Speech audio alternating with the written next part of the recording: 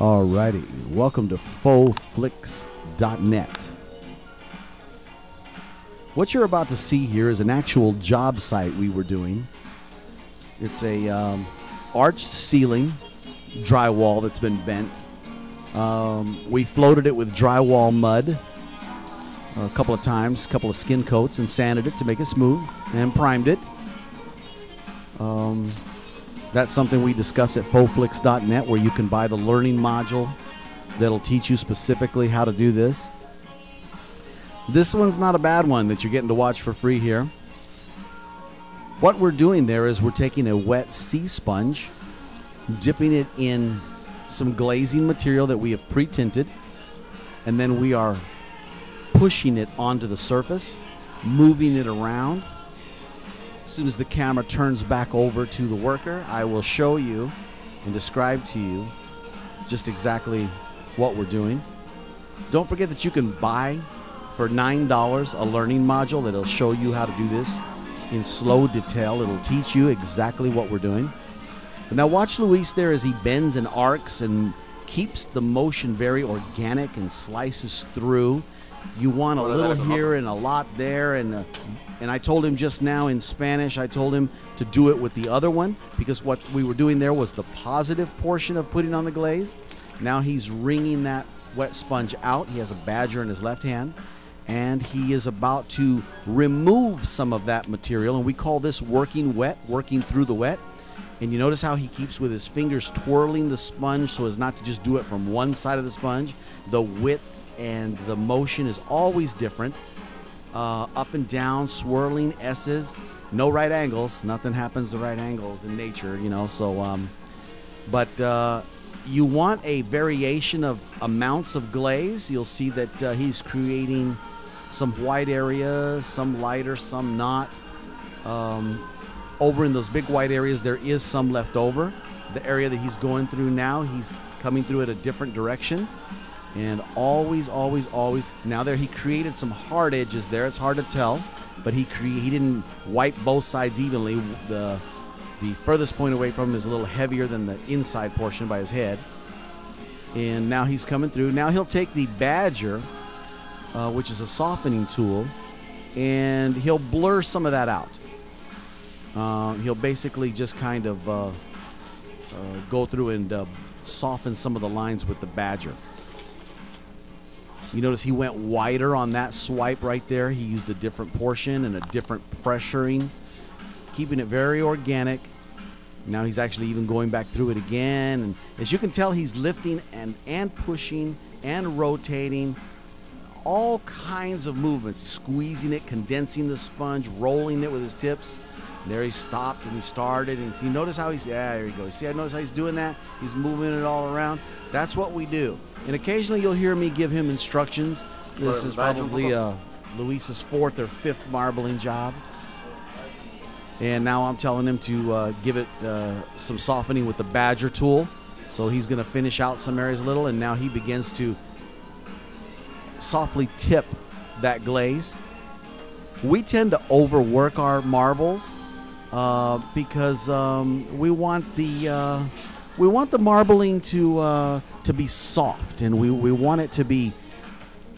We don't want it to be like um, fake looking.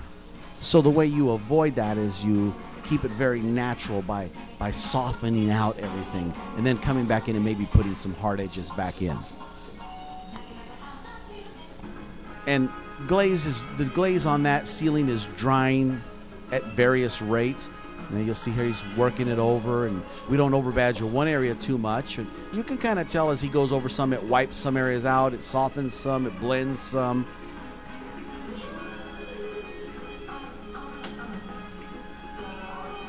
And you can use the badger in any direction, and sometimes in multi uh, directions, uh, or or just in one direction, a bunch of same the same way a, a lot of times and you might not want to hit all areas of what you're trying to badgering. Kind of basically kind of pushing the material around and softening it at the same time.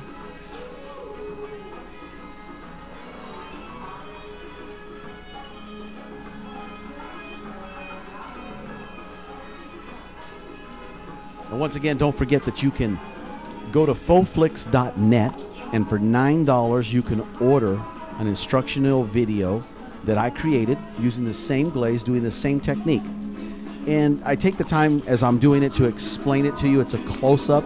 What you're watching here is an actual job site.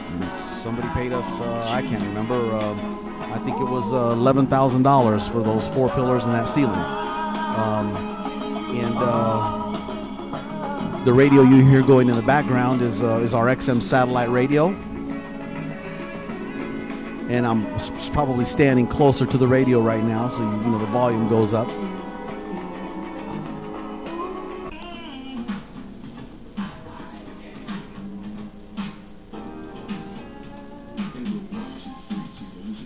Okay, and we've joined in some clips together. What we're doing right now, we've jumped ahead, and what we're doing right now is is we're we've mixed up another glaze. It's an amber, orangey amberish looking glaze, and we're brushing this glaze on. The other glaze is already dried now, and so and so uh, what I've told him to do is take a, a, a terry towel and bust through what he's putting on there, basically breaking it up organically.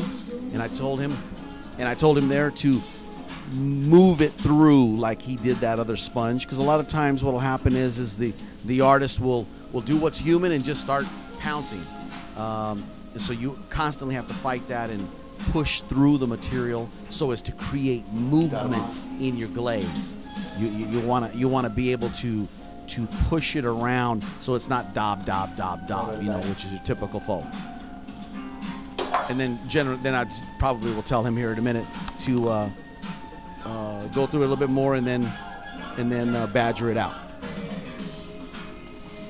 So now he takes the badger and he blends that in, basically pushing it around some more. But yet the concentrations remain. There's some light and heavy areas, but in the end result, it does get an overall glaze of that amber. And that's what gives it its warmth. But we want it stronger on some portions and some portions not. So he's basically just pushing that glaze around. You see in his left hand there, he's holding the bucket of glaze. And you'll notice there he starts to pounce. And I told him, manchado means don't pounce, don't munch it, don't don't. So I'm telling him push through it. So you'll see that it that'll happen to you too. As you're starting to marble, you'll you'll want to pounce, but you, what you want to do is lift up the pressure and put it back down, but never leaving that surface.